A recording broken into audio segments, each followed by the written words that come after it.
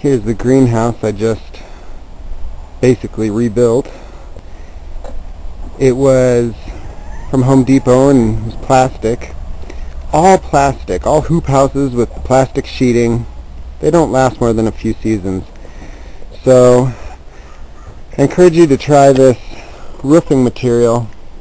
It's called Suntuf. Mm, it's supposed to be unbreakable and we'll see how long it lasts.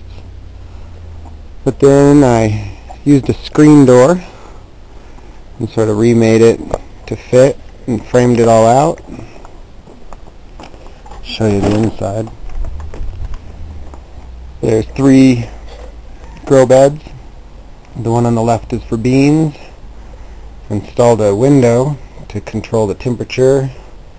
Still have the flap the front, two on the front, one in the back. But uh, all the metal had to be sort of reinforced with these 2x2s and hurricane clips and industrial adhesive. But after basically creating a whole new frame and putting in the post to just for snow load, and that supports it in three spots at the top. but now it might actually last. This is Mylar over here got the mylar wall.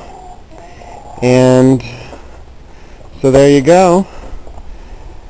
That is our redone greenhouse